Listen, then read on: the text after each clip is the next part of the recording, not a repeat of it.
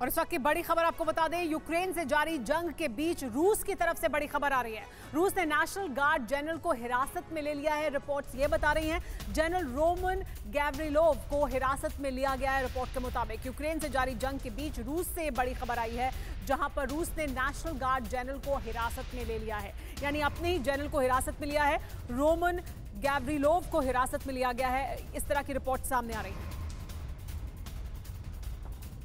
Ukraine से जारी जंग के बीच रूस की तरफ़ से बड़ी खबर आई है, जहाँ अपने ही जनरल को हिरासत में लिया है। रूस ने ऐसी जानकारी निकलकर सामने आ रही है।